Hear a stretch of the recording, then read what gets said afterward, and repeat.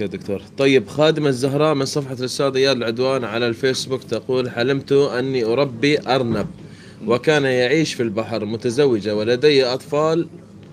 رجاء ليش ما تردون؟ هذا إحنا ردينا يا فاطمة يا خادمة الله الزهراء يسامحك يا خادمة الزهراء. طيب. أرنب من البحر أنا كأن الحلم مر علي قبل كذا ما أدري ليش. إن شاء الله ما أكون اللي في بالي صحيح المهم آه، أرنب يدل على الرزق السريع. لأن الأرنب صعب الإمساك فيه وهو صغير. رزق بس- بسيط سريع.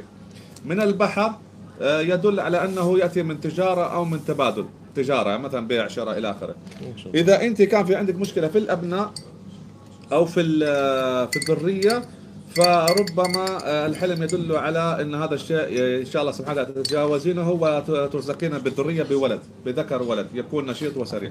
أما إذا ما كان عندك مشكلة في الذرية كنت طبيعي حياتك طبيعية فأعتقد أنه رزق سريع يأتيك من تبادل أو تجارة والله